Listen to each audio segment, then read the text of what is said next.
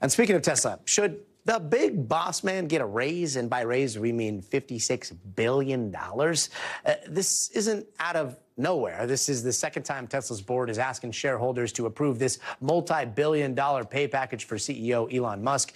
And this is months after a Delaware judge threw the first proposal out, claiming the deal was deeply flawed in part because Musk, not Tesla's board, has too much say in controlling the company, including his compensation. Tesla is also looking to move the company's incorporation from Delaware to Texas. And that is a big deal since more than 60% of Fortune 500 companies are incorporated in Delaware.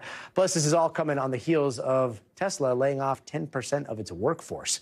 Wall Street Journal business columnist and author of Power Play, Tesla, Elon Musk, and the Bet of the Century, Tim Higgins joins us now. Tim, thanks so much for being with us. Tesla announcing layoffs just days ago. Uh, is this just is bad timing to request giving the billionaire boss a raise, or is this is this just how this works?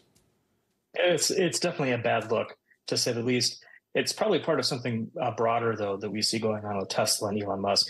You have to remember, for the last few months, uh, both have been under incredible uh, scrutiny and criticism um, for the way the performance of the company and for the suggestion that Elon Musk is distracted with all his other endeavors, whether it's X, the social media platform, or SpaceX, or just being Elon Musk.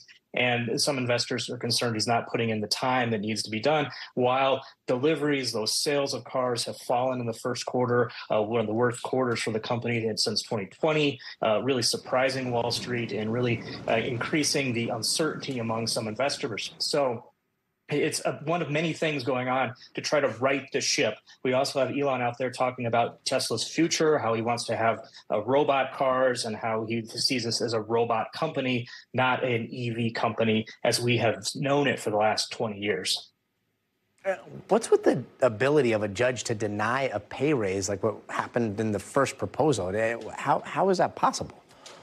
This, this comes out of a lawsuit that a, an investor in Tesla brought uh, about that pay package. Uh, this uh, opened it up for for the judge to review it. She felt that uh, the board was not uh, essentially at arm's length from Elon. That Elon was in there calling the shots. You have to remember the board of Tesla has Elon's brother on it, a number of people who have close business relationships with Elon. And when you got into the records and the testimony of the case, it really looked uh, to some people that Elon was making some of the decisions as if he was negotiating with himself. And essentially, the judge said this was deeply flawed process. Now, after that, you saw Tesla, you saw Elon Musk say, hey, we're pulling out of, of Delaware, uh, and there's going to be a lot of other companies that follow us. Has that happened? Well, it's not as simple as just doing that uh, but it's definitely put a spotlight on the, the, state and its role in corporate governance. Uh, clearly, Elon uh, thinks that Texas would perhaps uh, be uh, more uh, friendly to the way he likes to run things. that is yet to be determined. this new pay package is, is still uncertain. there's a lot of questions about it, and some think that there'll probably be more litigation going forward litigation going forward. Everything's bigger in Texas. We'll see if bonuses are as well. Thanks so much for joining us today. Thanks for watching. Stay updated about breaking news and top stories on the NBC News app or follow us on social media.